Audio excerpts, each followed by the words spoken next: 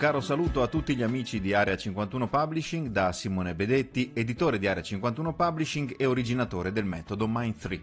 Anche oggi una nuova dose di sana motivazione quotidiana contro il logorio della vita moderna. E iniziamo subito il nostro allenamento quotidiano.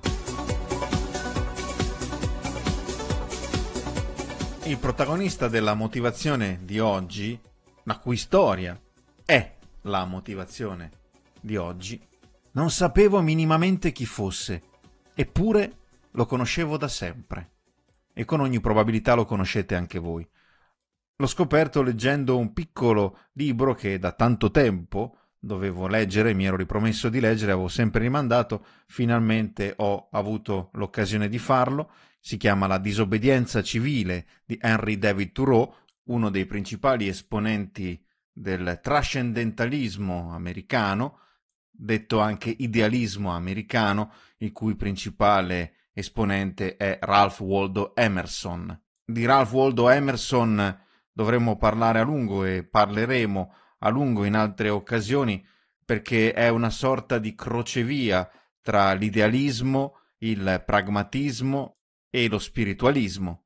Infatti il termine superconscio proviene dal concetto di superanima, proviene anche dal concetto di superanima caro a Ralph Waldo Emerson, che pochi lo sanno è uno dei padri ispiratori anche del nuovo pensiero. E lui meravigliosamente convergono e si integrano il pragmatismo psicologico, per esempio, di William James.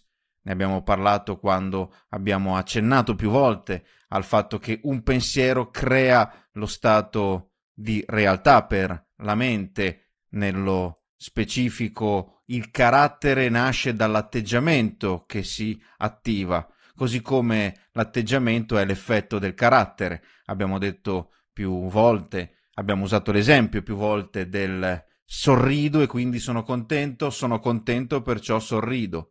Ma anche sorridere, quindi avere un atteggiamento pragmaticamente attivo, intenzionale, a freddo, determina lo stesso effetto. A questo si aggiunge il trascendentalismo, cioè il fatto che la realtà è l'effetto di qualcosa che precede la realtà e che la trascende. Prima viene lo spirito, poi viene la realtà, prima viene la mente, il pensiero, poi viene la realtà, il reale, che altro non è che la materializzazione del pensiero a tutti gli effetti uno degli slogan più cari al nuovo pensiero, alla legge di attrazione e alla crescita personale, i pensieri sono cose, è perfettamente aderente al pensiero di Ralph Waldo Emerson, in più il concetto spirituale. Questo precedere la realtà è qualcosa di spirituale. La metafisica è spirituale e, e qui vi è l'originalità dell'individualismo spirituale di natura americana, anche se in realtà a mio parere si ricongiunge perfettamente con l'insegnamento originale abramitico della connessione individuo-Dio, ad ogni modo ogni individuo attraverso la connessione spirituale realizza la sua più alta non soltanto aspirazione, ma realizza il suo vero destino che è quello di essere parte della superanima, parte della natura spirituale dell'universo e suo canale di manifestazione. Anzi, domani vi faccio ascoltare proprio il passaggio della superanima che viene citato non a caso dal meraviglioso La scienza della grandezza di Wallace D. Wattles. Torniamo a Henry David Thoreau che è un esponente, come dicevamo, del trascendentalismo ed è caratterizzato da un forte impegno politico e sociale. L'individualismo in Henry David Thoreau si traduce nel fatto che l'unica cosa che conta è l'individuo. L'unica cosa che conta per la società, per lo sviluppo della società, per una sana politica, è la libertà dell'individuo. E come sentite siamo nel pieno del pensiero originale americano, delle caratteristiche del pensiero americano. Henry David Thoreau, peraltro, è stato autore di quel Walden, o lo spirito dei boschi, è stato autore di un altro celebre piccolo libro dal titolo Camminare e quindi diciamo così nel trascendentalismo svolge il ruolo della critica alla civilizzazione e del ritorno alla natura. Ritorno alla natura che si identifica con il ritorno dell'individuo in sé, dentro di sé, nel ritrovare nella sua relazione con la natura il significato più profondo della sua esistenza. Thoreau era anche uno abbastanza incazzato, diremmo oggi dal punto di vista politico. Oggi lo definiremmo una sorta di anarco-individualista e apertamente dichiarava il diritto sacrosanto di andare contro le leggi quando queste leggi sono ingiuste, di andare contro lo Stato quando lo Stato è ingiusto, di lottare anche contro le leggi, disobbediendo ad esse, quando le leggi vanno contro la giustizia, la quale trova naturalmente il suo fondamento nella spiritualità, nella metafisica, ma anche nei grandi valori, nella prospettiva di Thoreau, nei grandi valori americani. Primo fra tutti il valore della libertà individuale, libertà civile, libertà di espressione, libertà di poter gestire autonomamente il proprio corpo, la propria mente, e libertà di seguire ciò che si crede essere giusto. E proprio il termine disobbedienza civile, se non nasce proprio con Thoreau, non ricordo esattamente se proprio a lui si deve la paternità dell'espressione, sicuramente grazie a questo libro in particolare diventa di dominio pubblico. Questa espressione diventa parte importante del pensiero politico e dell'azione politica successiva. Siamo qui a metà dell'Ottocento siamo durante, poco prima e poi dopo la guerra di secessione. Ecco che alla fine di questo piccolo libro, che vi consiglio, molto intenso e molto, molto stimolante, siccome in molte situazioni di questo genere, quando vi è un piccolo libro che bisogna vendere, l'editore per giustificare anche il prezzo di copertina e anche per distribuire comunque un libro che abbia una sua validità come, come tale, in genere gli editori integrano lo scritto che dà il titolo al volume con altri scritti. E proprio in appendice, diciamo così, a disobbedienza civile, trovo un altro scritto che si chiama In difesa del capitano John Brown. Avendo qualche annetto sulle spalle di letture, sono piuttosto scettico in generale rispetto a questi scritti che vengono un po' appioppati al lettore per gonfiare, diciamo così, il volume e resto un po' indeciso se leggerlo o non leggerlo. Poi mi dico, ma sì, dai, diamoci un'occhiata. Inizio a leggerlo e mi trovo di fronte a uno scritto appassionato in difesa proprio di questo capitano John Brown che nel 1859 è stato uno dei primi dichiarati avversari disobbedienti alle leggi schiaviste che ha intrapreso azioni dirette e anche violente per liberare schiavi dai loro schiavisti e poi ho scoperto storicamente essere stato uno dei precursori della guerra di secessione. Infatti le sue azioni hanno iniziato a preoccupare gli stati del sud che altre persone avrebbero potuto seguire queste stesse sue azioni di incursioni, di azioni quasi da guerriglia per liberare gli schiavi, questo ha generato un effetto a catena che ha portato prima alla secessione degli stati del sud e poi alla guerra di secessione che inizia poi nel 1861. Quindi l'importanza storica di questo capitano John Brown diventa immediatamente evidente, però devo dire, posso dire di essere certamente un interessato alla storia americana di quel periodo, anche perché una delle mie figure in assoluto di riferimento è Abraham Lincoln, eh, che è stato protagonista ovviamente di quella stagione, ma non posso certo dire di essere un appassionato. Incontrare questo episodio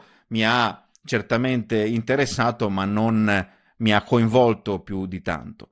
Però vado avanti nella lettura e seguo l'appassionata difesa di Thoreau di questo capitano John Brown perché poi viene catturato e viene condannato a morte. Verrà poi eseguita la condanna a morte per impiccagione il 2 dicembre 1859 e pochi giorni prima Thoreau legge questa appassionata difesa.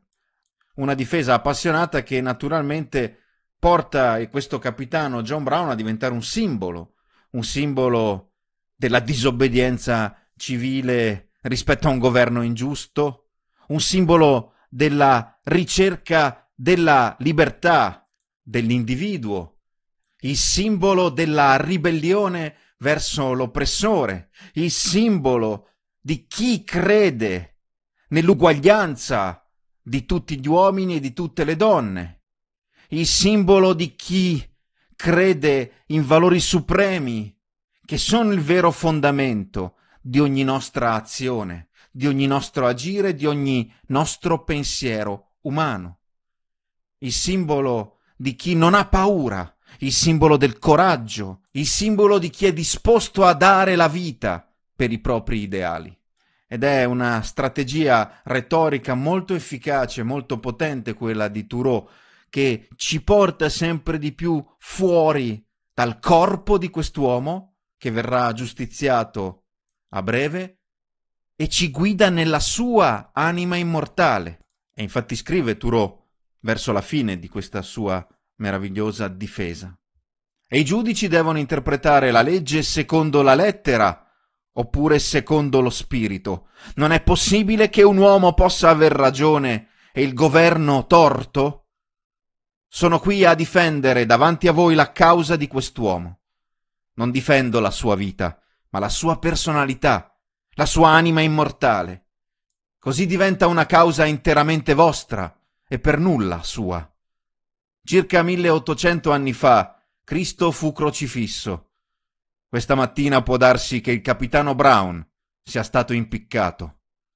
Queste sono le due estremità di una catena che non è priva di anelli. Lui non è più il vecchio Brown, lui è un angelo della luce. Ecco, e mentre leggevo queste parole, nella mia mente, nelle mie orecchie, sentivo sempre di più un ritornello, una sorta di nenia, una canzoncina che sgorgava davvero da qualche parte della mia anima, della mia memoria. La ascoltavo e dicevo, non è possibile che sia questa. La canzoncina fa così. John Brown giace nella tomba là nel pian, dopo una lunga lotta contro l'oppressor. John Brown giace nella tomba là nel pian, ma l'anima vive ancora. Quante volte l'ho cantata e ricantata.